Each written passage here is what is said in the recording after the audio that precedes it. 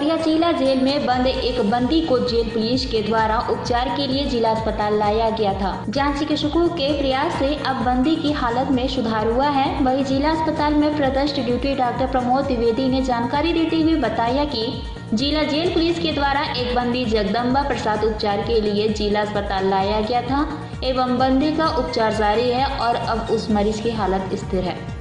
वही जगदम्बा प्रसाद नामक बंदी ने बताया कि मैं ढिंडोरी, समनापुर का निवासी हूँ और उमरिया ज़िले जेल में विगत सात साल से बंद हूँ। मेरी तबीयत अचानक सर्दी खांसी के कारण खराब हो गई, जहाँ मैंने अस्पताल से मिले सिरप को डोज से कुछ ज़्यादा पी लिया था। उसके चलते मेरी तबीयत बिगड़ गई और जेल पुलिस के द्वारा मुझे उपचार के लिए जिला अस्पताल लाया गया। एवं उपचार के बाद मैं पूरी तरह से स्वस्थ हूँ। वही ज़िले के लोकप्रिय कलेक्टर संजय श्रीवास्तव ने बताया कि जेल के एक बंदी को उपचार के लिए जिला अस्पताल लाया गया, जहाँ उपचार के बाद अब बंदी की हालत बेहतर है। गौरतलब है की जिला जेल में बंदी के द्वारा कफ सिरप का सेवन किया गया, लेकिन उपचार के बाद अब उसकी हालत में सुधार हुआ है। पीस उमरिया से शंकर सिंह चंदेल की एक खास रिपोर्ट। सर, मैं समनापुर डिंडोरी का रहने वाला हूँ।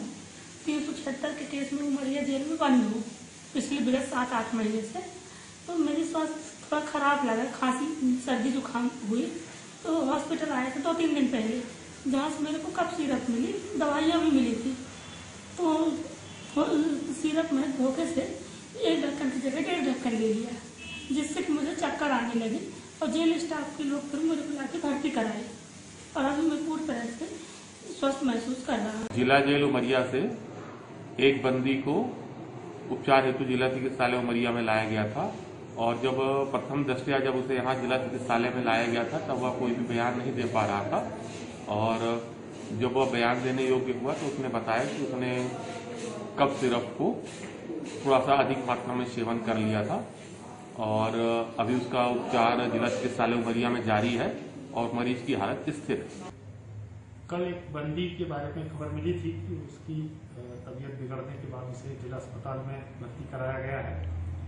वहाँ उसका निरंतर इलाज जारी है और अब उसकी हालत स्थिर है। कोई खतरे की बात निवासी एक परिरुद्ध कैदी जो उमरिया जेल में बंद था।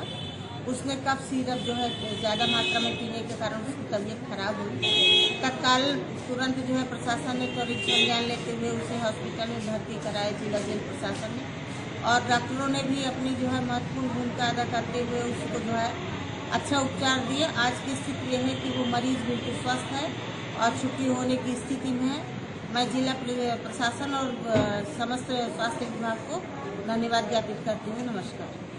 मेरा नाम लक्ष्मण प्रसाद दुबे है और मेरे बड़े भाई का नाम जगदम्बर प्रसाद दुबे जो मलिया जेल में सात आठ महीने से अंदर रहे, जेल में है। तो उनकी तबीयत खराब हो गई थी।